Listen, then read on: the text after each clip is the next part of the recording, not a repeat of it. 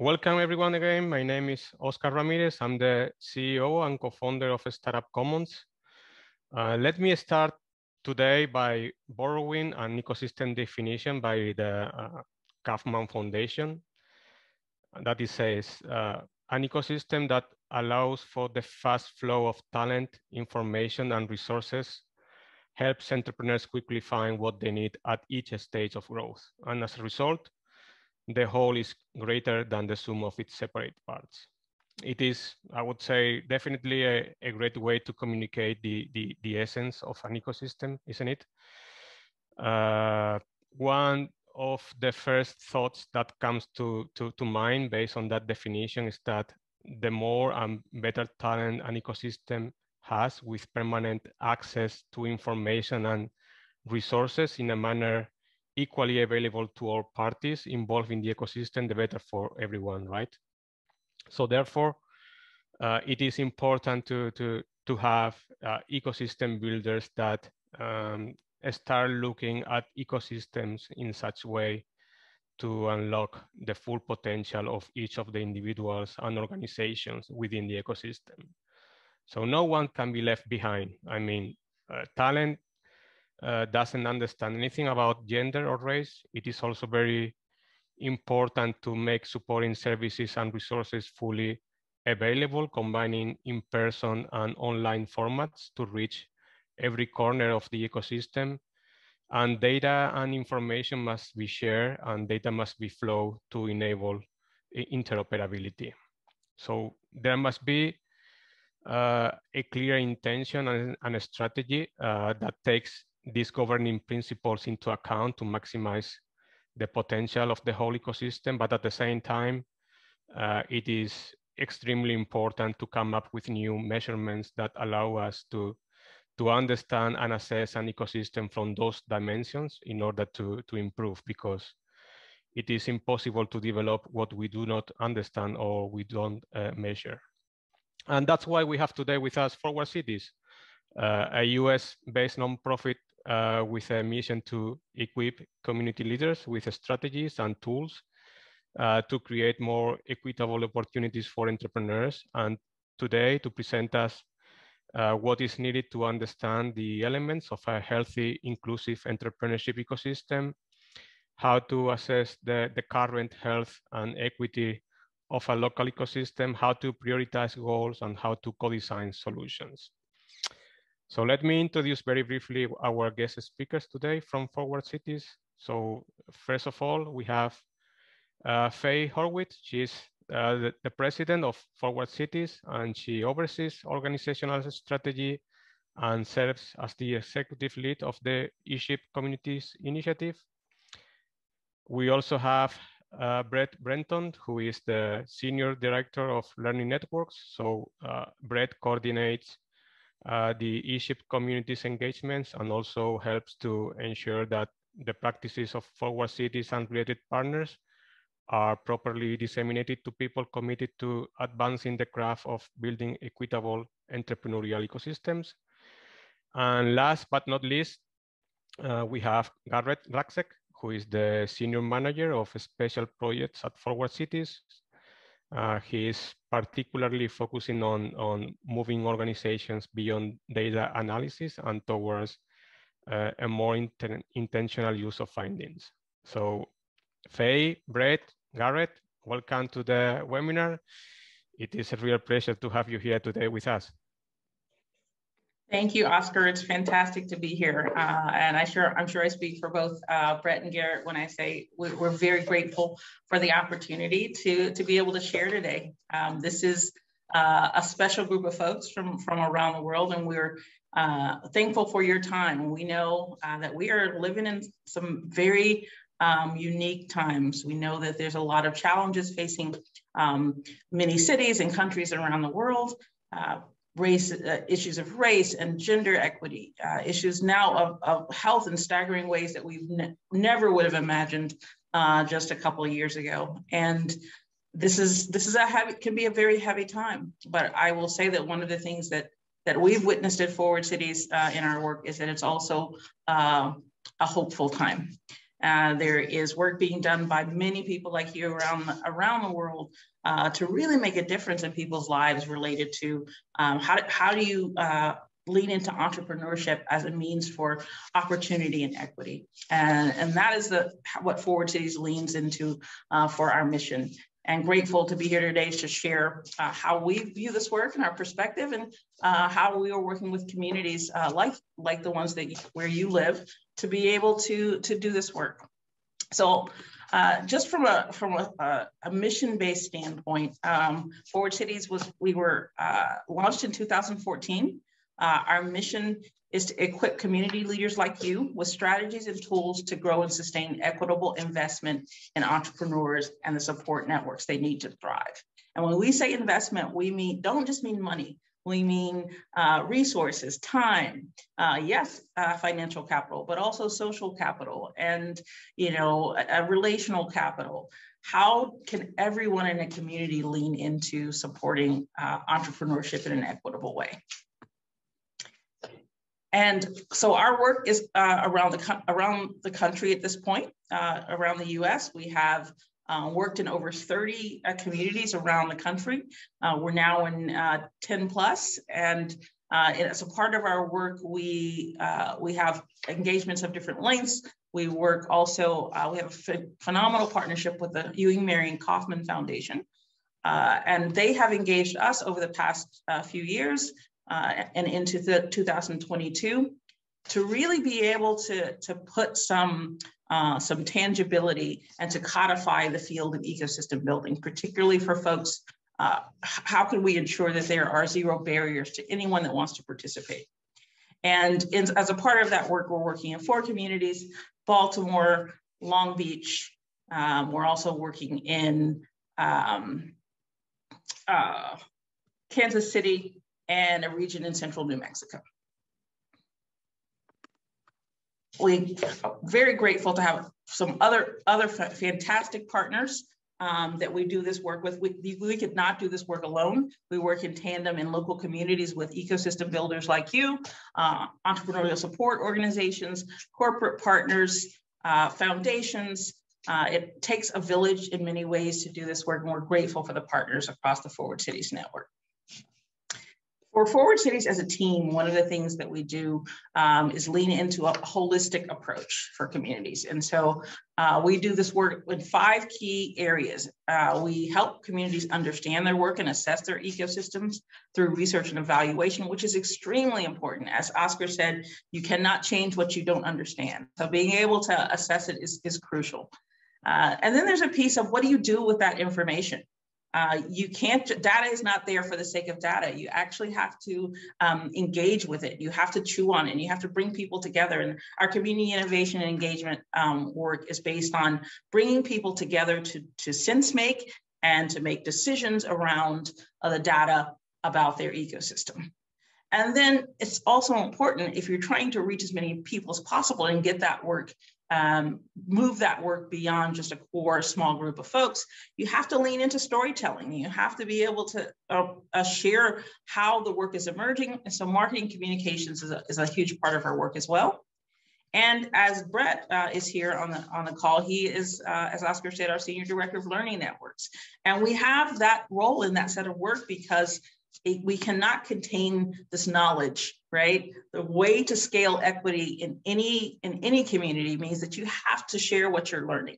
As we engage in this work and we as we engage communities in this work we encourage them to talk with one another to share their learnings and to share across communities and then uh, what we do also is we, we know that this work cannot be done without funding um, and without resources. And so we help communities try and understand how they can uh, identify the sources of, of uh, sustainable funding for this work and to make sure they have they're equipped to do this. And all of this work is not Forward Cities doing work as a consultant, but as a capacity builder. And our vision really is with all of the work that we do. Um, ideally, we have this beautiful vision of equity for every entrepreneur, which we call E3. And that is that hope that, um, that every entrepreneur will have equitable opportunity and access to launch, grow, and sustain a business that grows wealth for themselves, uh, their families and or their communities. And we believe that this, in many ways, this is a right. Victor Hwang talks about uh, the right to start, and we truly believe that. And as a part of that work, um, what we think about is uh, we bring it back to how do you um, how do you know what equity is? How do you measure these things? How do you uh, how do you think about the values that you want to lean into uh, when you're attempting to make a more healthy and equitable ecosystem? So one of the things we like to think about is this idea of what if every entrepreneur um, had had essentially a bill of rights right? What are the things that we would we would want them to be able to lead into? And it's not uh, diversity and inclusion is not enough. What we found is that that those things happen often by accident or they happen just through words.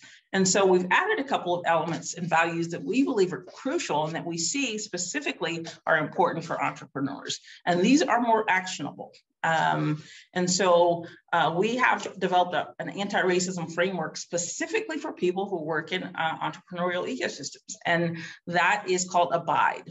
Uh, and that acronym stands for Access, Belonging, Inclusion, Diversity, and Equity. And those other two, those first two that we often don't hear, may not have heard in this context before of DEI work, um, are crucial because one of the things we see is that it's not enough for resources to exist uh, in an ecosystem. If everyone is not able to equitably access them, uh, say for reasons of transportation or disability or abil- level of ability or uh, geographic location or language um, or, or the ability to pay money for programs, then it is not accessible. And that means that it is not equitable.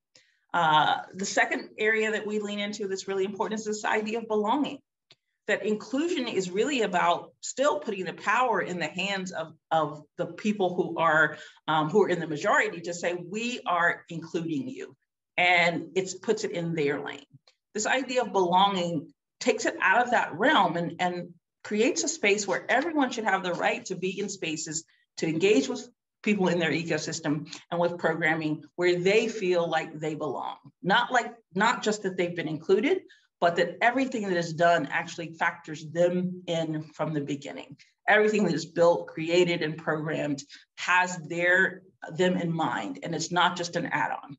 So that piece piece of, about belonging is extremely important. And then, of course, um, we've added in over the past year had to consider uh, COVID-19 and the impacts of COVID-19, and and that's because all of these equity issues that we're talking about were have been exacerbated and made worse uh, for people of color and for women and all of those folks that are that were disproportionately um, disconnected before COVID-19 has made that even worse. And so now we have to deal with not only uh, systemic and historical disconnection and disenfranchisement, now we also have to think about um, how this pandemic has impacted and make sure that we're doing things to, to um, compensate for all of these things top to bottom.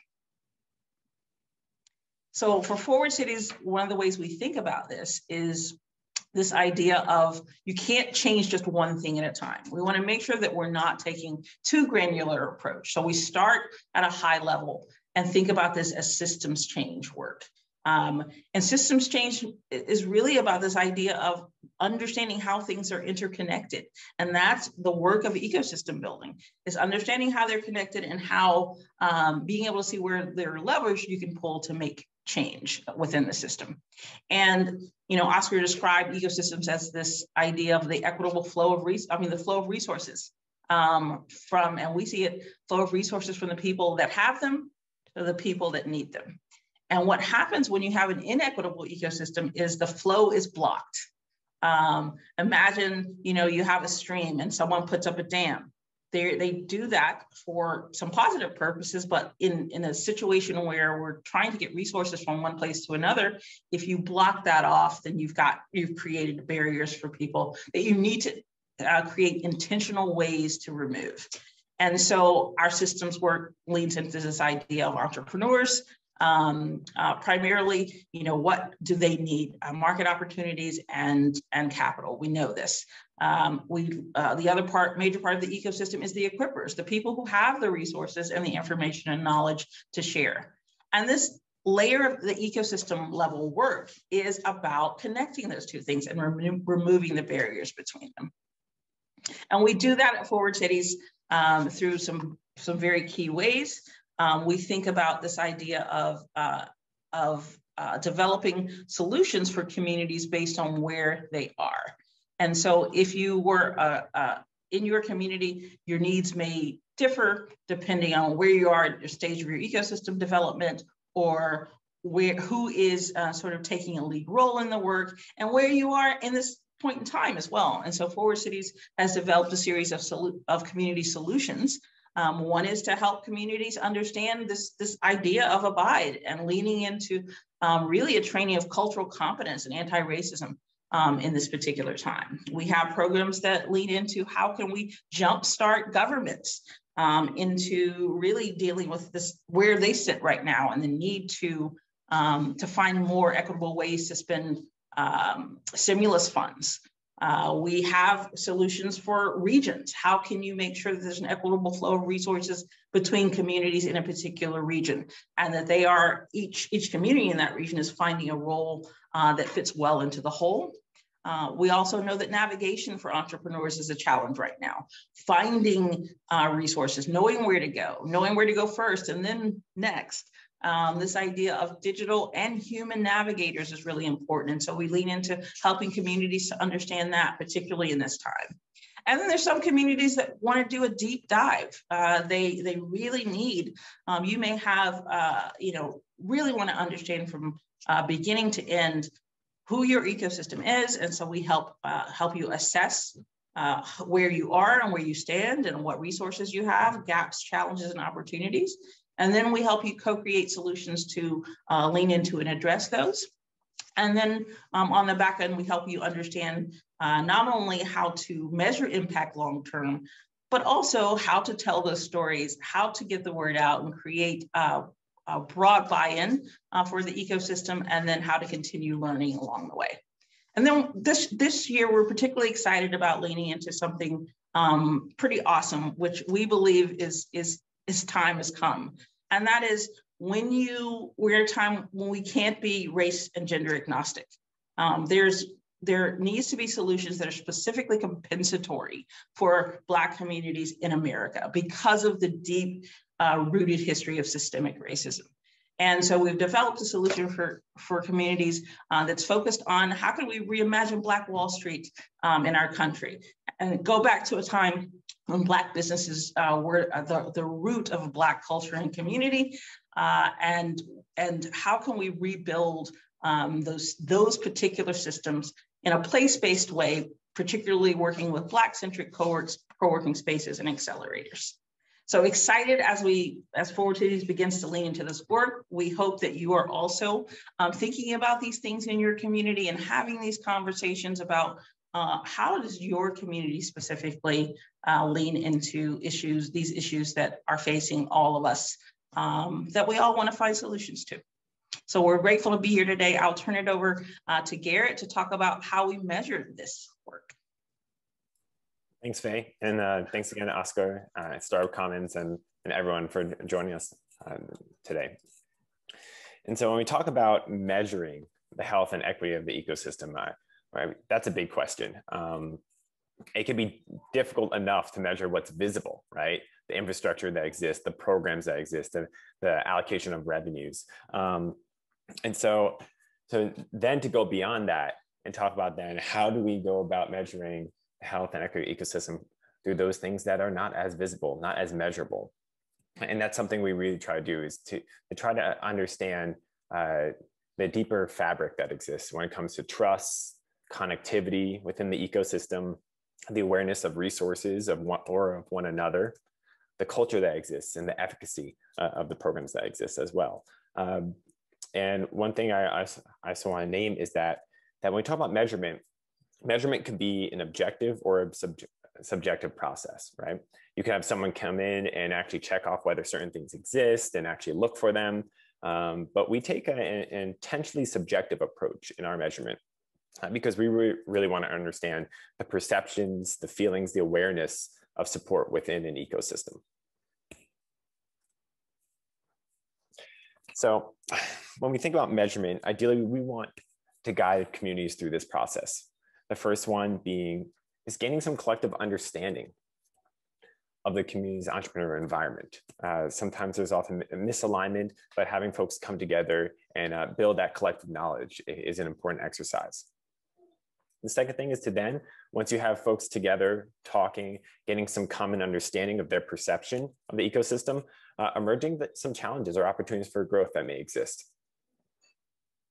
And then with that, three, we'd like to then uh, push community members to then align and actually leverage their assets. So much of the time, it could, the focus could be spent on the gaps or the challenges that exist.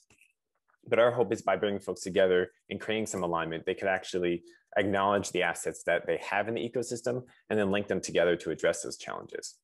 And lastly, when you have folks in the ecosystem beginning to have these, these structured, foundation, structured foundational conversations, uh, you can use it as an opportunity to pull more collaborators in uh, within the network and and magnify the impact of the work. So with that, I would love to actually introduce you to the E3 scorecard or the tool that we use uh, to facilitate this conversation with communities. Again, E3 stands for Equity for Every Entrepreneur. And within this, we have four key buckets, uh, really essential parts to a healthy ecosystem. The first being people. And within people, we have two areas of focus. Uh, but before moving into those, I think it's, it's important to acknowledge that people really serve as the, the heart and the, the most valuable resource within the ecosystem. Uh, it's where it starts and it's what everything builds off from. And so within people, we have these two categories that we like to, to reflect upon. Uh, first being talent pipeline and mentors. These are to actually lead, staff, and support emerging and existing businesses. Champions and ecosystem builders, who serve as the trusted connectors and navigators within the ecosystem. After people, we have the programs. This is what actually empowers the people the entrepreneurs, the ecosystem, ecosystem builders, and other ecosystem stakeholders to do the work. Within programs, we have on-ramps and pathways for entrepreneurs and businesses to launch, grow, and or scale their business. Intersections and conversations that actually facilitate the dynamic interaction of people, ideas, and resources in the ecosystem. Our third area of focus or third theme is networks. This is the infrastructure, what connects and empowers the programs and people to be realized in an ecosystem. Within that, we have capital and funding for the growth of the local entrepreneurs and businesses in all sectors and at all stages. And we have policy and supports that ensure infrastructure and funding for equitable businesses and ecosystem sustainability. And lastly, our fourth theme within our E3 scorecard is narratives. This is what propels the work forward so that the work that gets done doesn't get lost. Within narratives, we have identity and storytelling of the ecosystem's authentic story in a way that highlights both its personality and its diversity. We also have metrics and learnings that track the health and the maturity of the ecosystem over time. And before I move on, I, I want to acknowledge that, it, that these all play together, all these, these thematic areas, and they empower each other, they are reliant upon each other, um, and all of them must be considered uh, when evaluating the health of an ecosystem. I also want to name that each one of these thematic areas uh, over time, there were structures and systems that were intentionally designed to exclude particular persons from an ecosystem. And we kind of dive into these thematic areas, these categories and subcategories, as we call them, in an effort to be really intentional about, about saying that, okay, exclusionary practices were intentionally built. So then what does it look like to reflect upon them and build the actual structure, the programs that our communities deserve.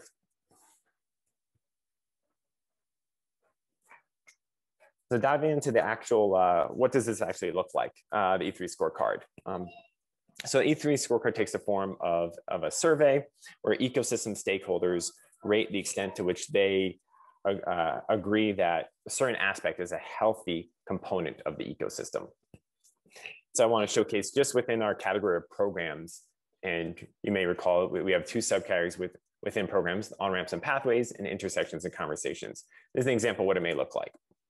There's a series of pretty detailed elements, we call them, or, or, or particular areas to reflect upon within an ecosystem, uh, where folks can, can scan through them. And again, uh, while it may look like it here, it's not a checklist. They're actually, each individual takes it in isolation so that they can provide their perception, their perspective on the ecosystem, and, and rate the extent to which each particular aspect, each element is a healthy component of it. All those scores then roll up together uh, into uh, to get a picture of what ecosystem stakeholders believe in. Uh, and they roll up into an, an, actual report that the goal of this report is it's not benchmarked to any other community. It's a reflection of what individuals within a particular community, a region, whatever it may be, believe about their community.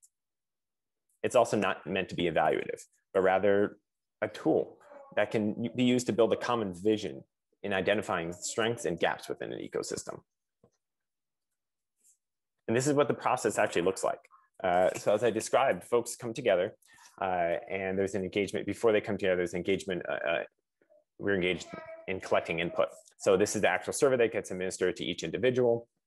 And when we talk about who receives uh, the survey, uh, ideally, when we talk about ecosystem stakeholders, we're thinking about ecosystem builders, representatives of entrepreneur support organizations, uh, entrepreneurs, policymakers, academics who, who touch the entrepreneur ecosystem space.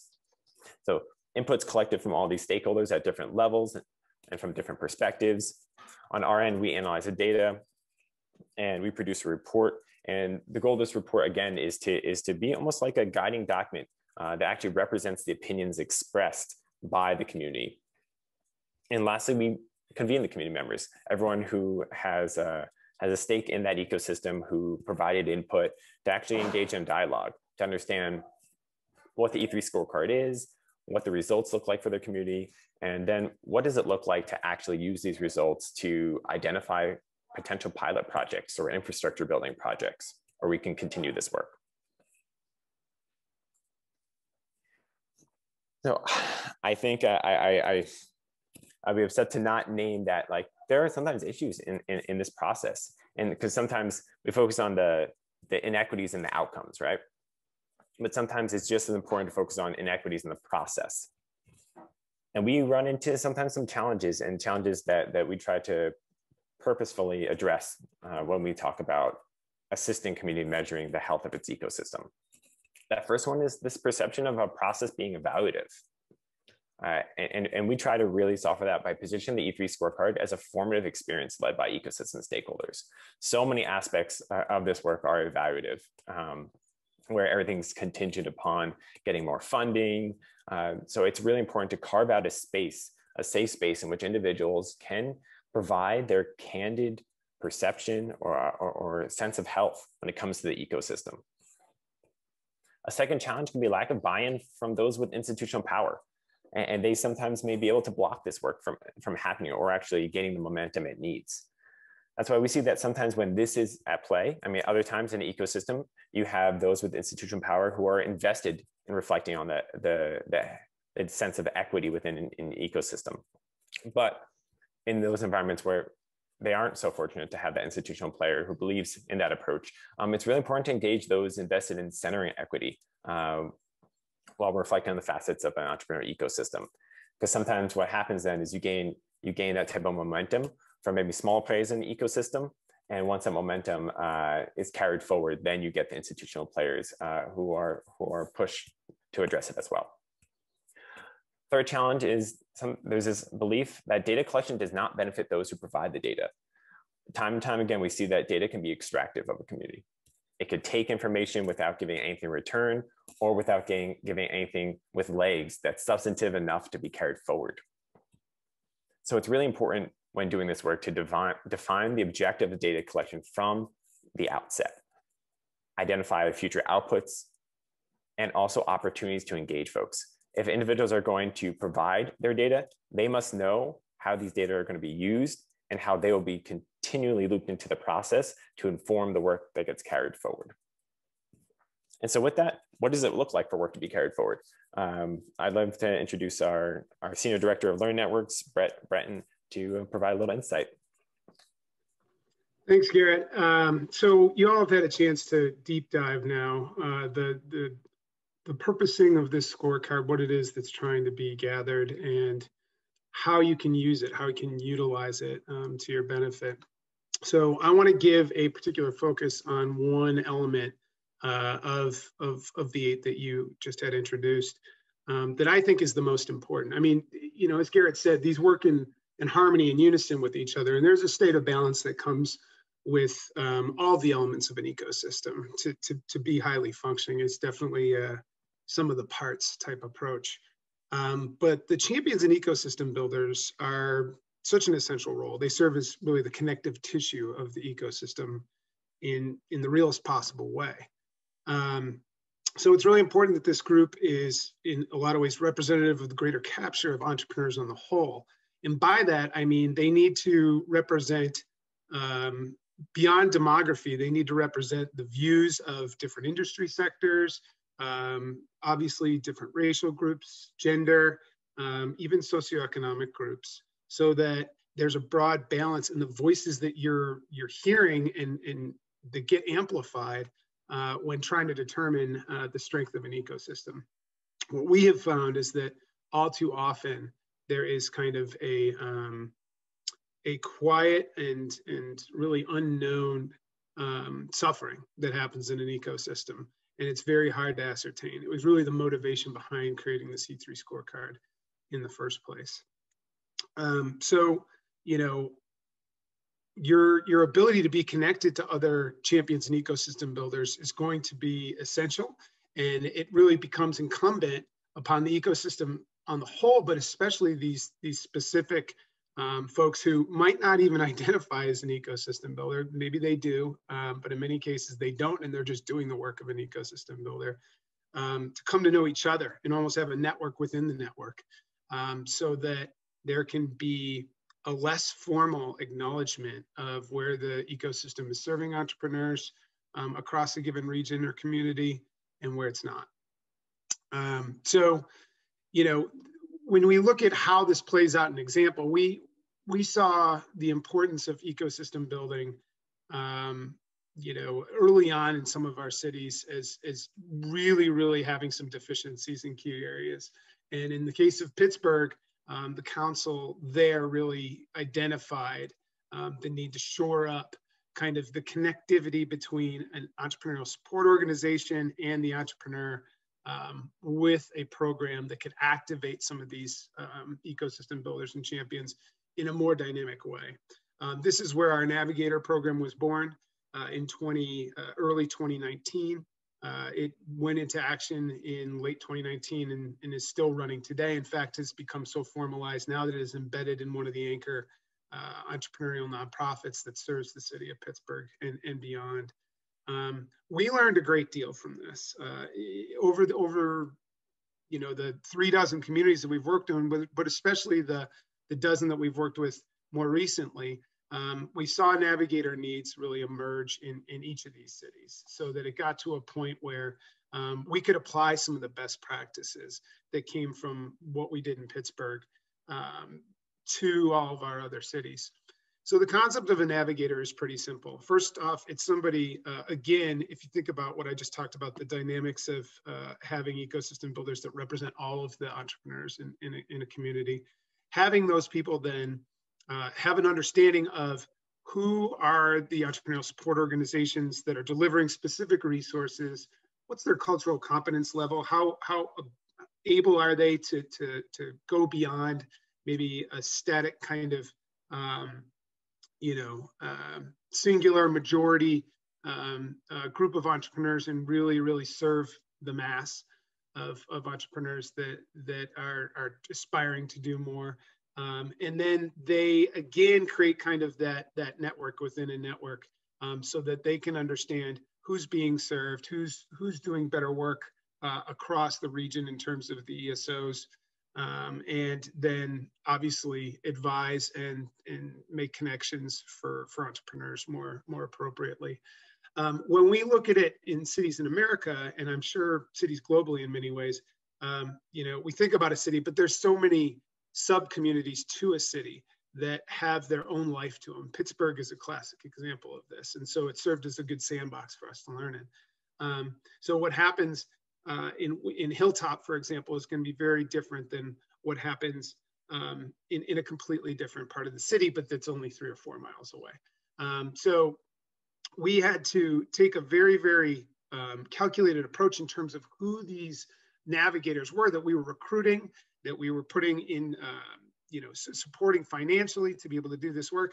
Um, we had to take a very calculated approach about who they knew in the in the ESO landscape, what entrepreneurs they would be able to serve, so that we could make sure that there was good balance across um, the total approach. Um, I'm starting to see the navigator approach as being something that's going to be a staple of uh, ecosystem work from here on out. We've seen in uh, the states that um, it has gotten federal attention. There's a $100 million rollout of a community navigator program now, uh, which is aimed to do just this. Um, and so I think we're going to see more people recognize A, that maybe they've already been doing this informally and, and there is a more formal path for them to do it. And, and B, that cities and, and counties uh, or regions start to recognize the importance of, of this role and uh, start committing um, you know, funding to, to support it uh, for, for posterity.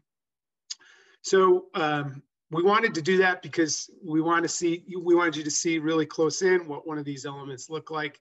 Uh, we realized this was a quick presentation of the information and most importantly to us, we want to open up some Q&A, but um, the three of us uh, are, are actively working on this every day in cities across the country and uh, you know are very open to to outreach and to um, providing support where uh, your specific needs arise.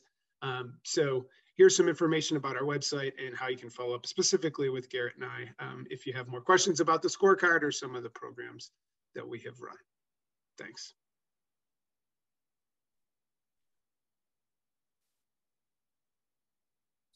Thanks a lot, Brett. Thanks a lot, Garrett. Thanks a lot, Faye, for the great presentation. A lot to a lot to, to digest. I mean, it's really great content and really great approach that we, we have seen today in this webinar.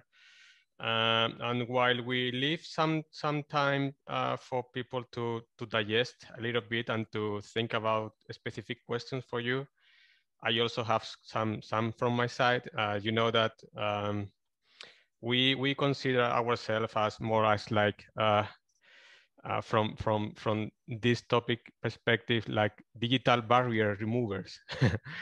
So we try to to remove barriers from from digital perspective. I'm i'm really interested about uh, how you are looking at digital uh, for your services and for your strategies. Uh, yeah i'm happy to jump in there to start. So um, we take the same approach, a barrier identification approach. And that was really, that predecessed the E3 scorecard in a number of ways. When we first started doing work in, in kind of the, the, the present day version of Forward Cities um, that was built off of the, the seven years of work that we've, we've done so far, um, it was very centered on um, barrier identification, um, uh, making sure that we have diverse voices to develop to, to understand what the barriers were and to also develop strategies, a human-centered design approach to that. Um, so any of the, for example, the Navigator program is a great example.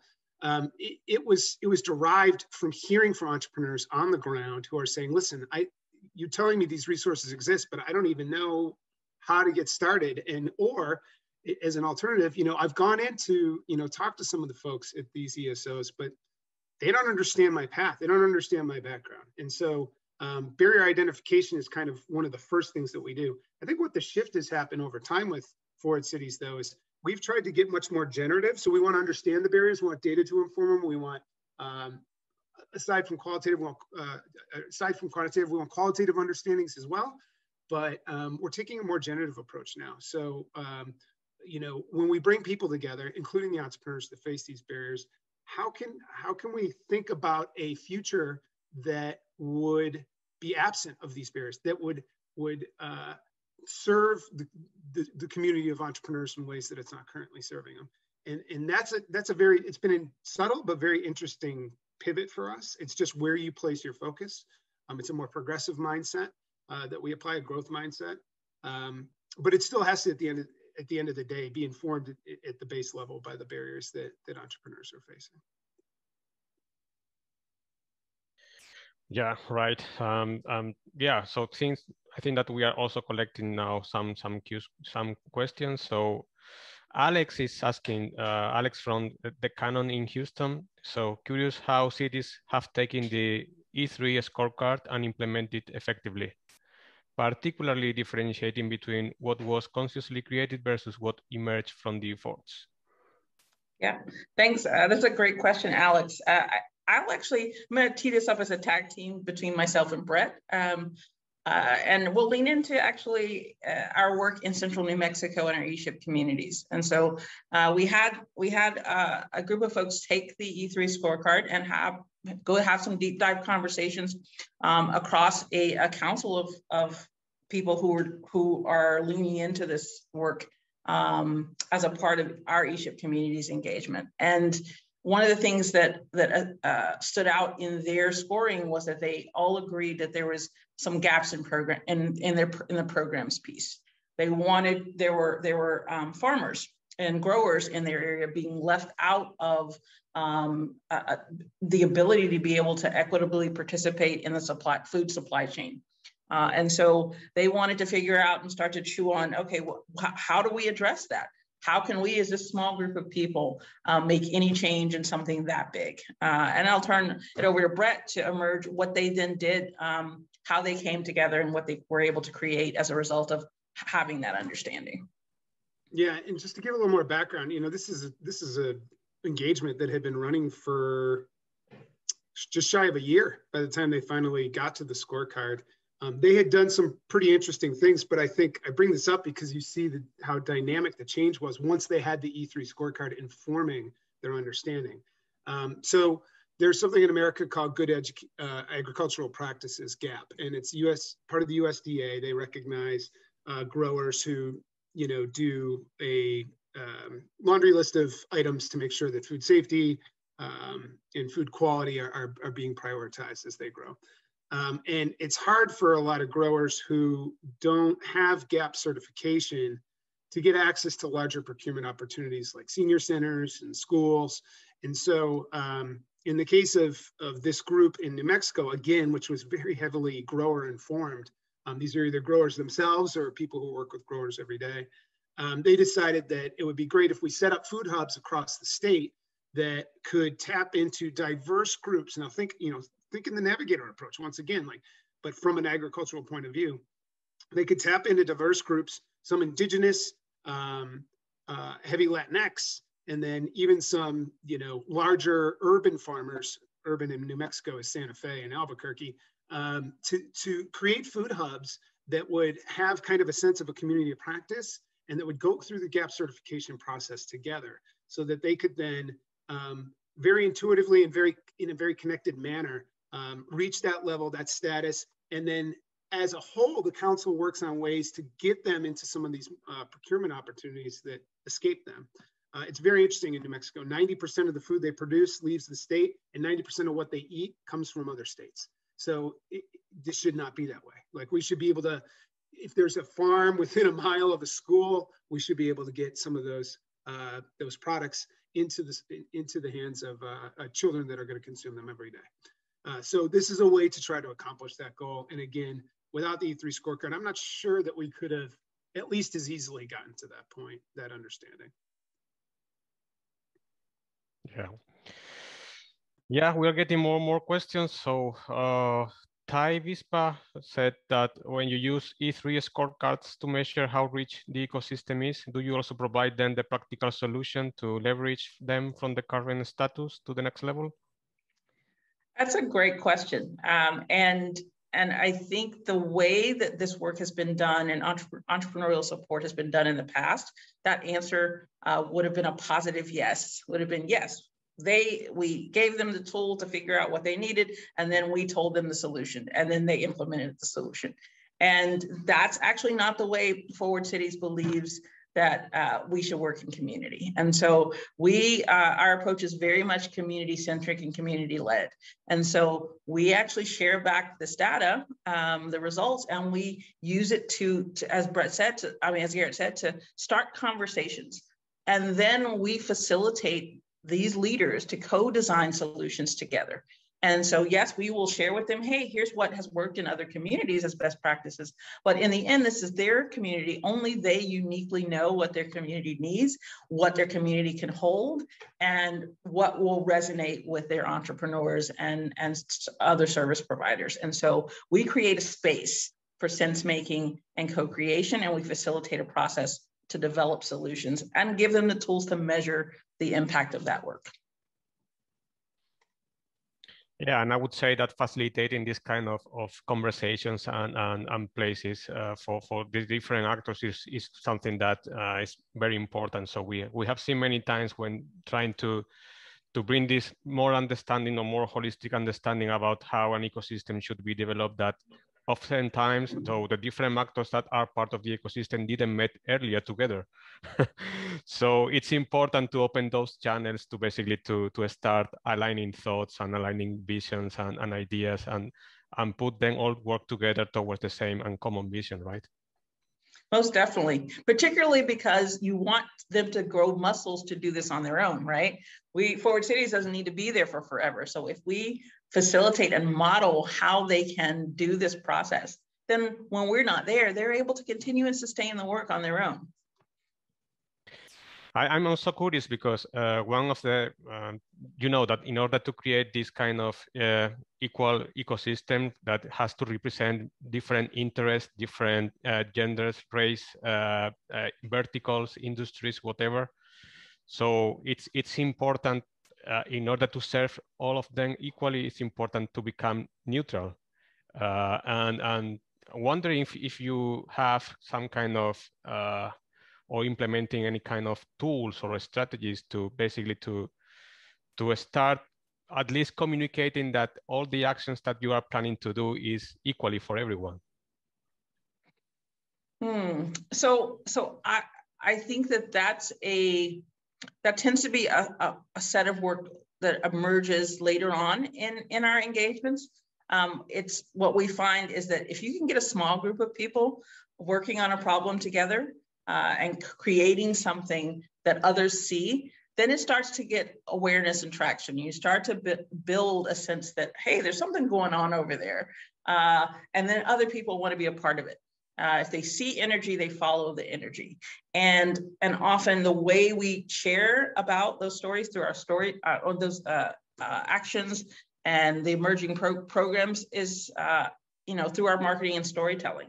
And so, if we're able to then um, reach people with these messages and and uh, connect the dots, help people connect the dots between how they can get connected to the work, that's where this really gets special is when you begin to see the university uh, folks be able to say, "Hey, we'd love to get our students involved in, you know, in uh, this work, and how do we connect to that program?" Uh, when you have folks, you know, uh, from, uh, you know, corporations saying, "Hey, you know what? There's something that that we that feels right for us, so we would love to support this through sponsorship." Um, when you have entrepreneurs who who are able to say, "I was positively impacted by this this this effort. Um, I think that that's that's the ultimate, um, you know, sort of signal that something is working. Yeah, I agree. Uh, we we we still have questions. So Carlos is asking about uh, about the role that onshore institutions should play in supporting inclusive entrepreneurship ecosystem. So where is working best and how to engage these institutions in an intentional way? Uh, Brett, you want to take that one? On was that anchor institutions? Yeah. Okay. So um, you know, Faye started to just allude to this. When you when you go into any city, you're going to get um, a combination of anchor institutions, um, and obviously it's a term that gets defined very differently. Um, you can see hospital systems be a part of that. You can see uh, obviously corporate anchors um, and in philanthropy, we would count in that in that category as well in many ways. Um, they admit they are the ones who have been influencing, I'll say, uh, the status quo for whatever it is in a particular city or region uh, up to this day. So what's important is that we we come to understand how the role that they've played, and we also come to understand their willingness to to evolve. uh, because we are, in many ways, it's the status quo that has created the situation that we have for Black and Brown entrepreneurs in, in American cities. Um, and so some of the practices that have been applied have to be undone to some sense. So there has to be kind of a willingness uh, on the part of anchor institutions. We have come across many anchor institutions who have shown that willingness and have been major, um, because of that willingness, have, have accelerated um, the pace at which an ecosystem can evolve to meet all the people that it, it, it attempts to serve. We have also come across some anchor institutions have, that have been resistant to that change. Um, and it has become very difficult then to have any sense of consensus around even what to do, let alone the impact you can have.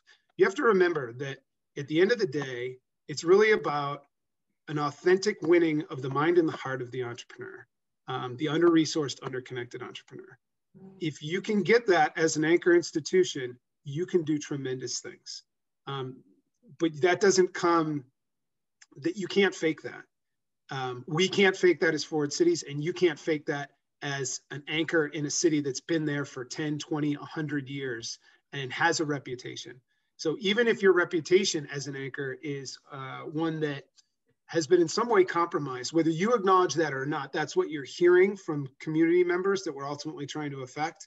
Uh, there has to be a recognition of that, and then there has to be a willingness to change. And so, um, are we? Do we have some panacea to to solve for you know to go into any city and, and sprinkle fairy dust and, and and and shift some of these anchors and the perceptions they have? No, we don't. Um, I'd say we failed as often as we've succeeded in influencing, but we can be one small piece of the connectivity of voice of this entrepreneur on the ground, this underconnected, under-resourced entrepreneur, um, to the ear of the anchor, um, to the ear of the treetop, um, and and help to ensure that at least there's a chance for them to be influenced by that and to change some of the habits that have created the status quo we're trying to, in some ways, overcome.